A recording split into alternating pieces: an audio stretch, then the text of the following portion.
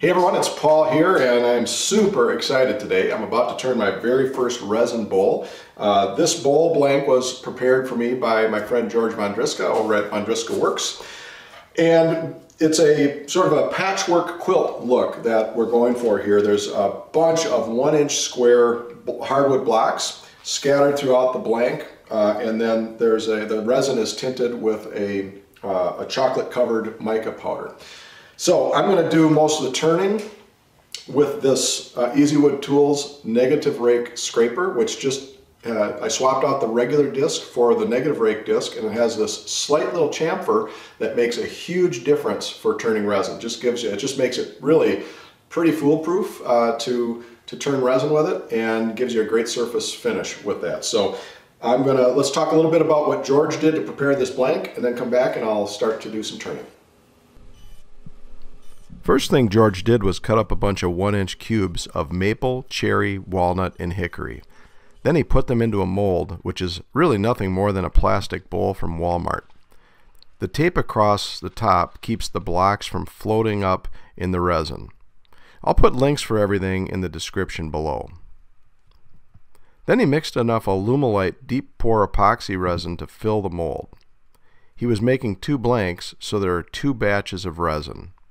In the blank that he made for me, he mixed in chocolate colored mica powder.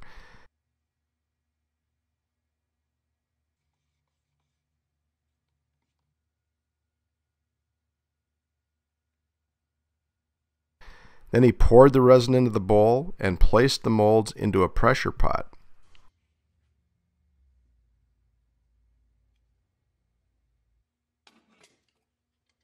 He set the pressure to 45 pounds and let it sit in the pressure pot for six hours. The pressure compresses the bubbles in the resin, making them microscopically small so you can't see them. Then I had to wait for seven days to let the resin fully cure so that it would tolerate the stress of high-speed turning. And let me tell you, those were seven long days.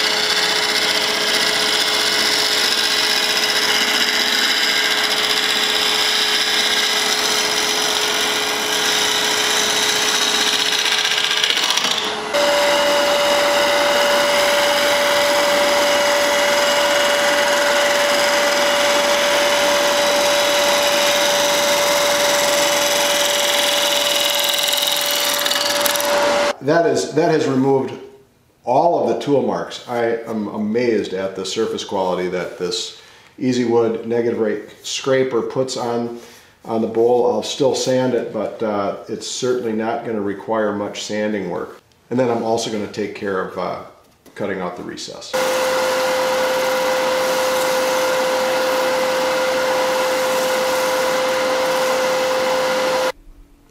All right, I've got it sanded out now to 1500 grit and I am loving the surface finish on this thing. It's just absolutely uh, smooth as glass. So I'm gonna now remove the tailstock. I left it in place to just keep vibration to an absolute minimum as I was sanding it out.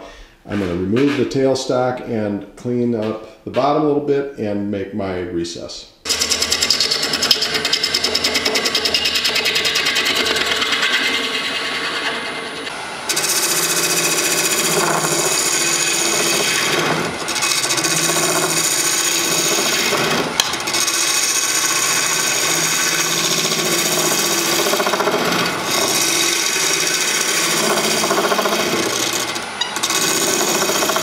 That bottom all sanded out and flipped it around. Recess was a really good fit. I've got the tailstock engaged, which you might think is a little overkill on a small bowl like this, but with those jagged edges uh, from the protruding wood chunks, I'm going to leave it in place at least until I get that all flattened out um, and it's smooth going from there.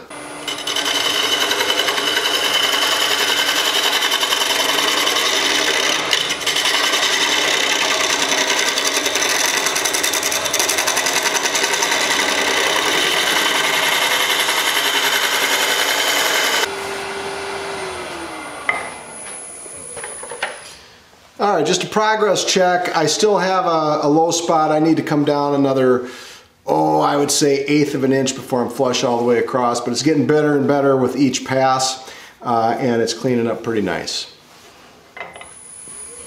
I'm running at about 900 RPM.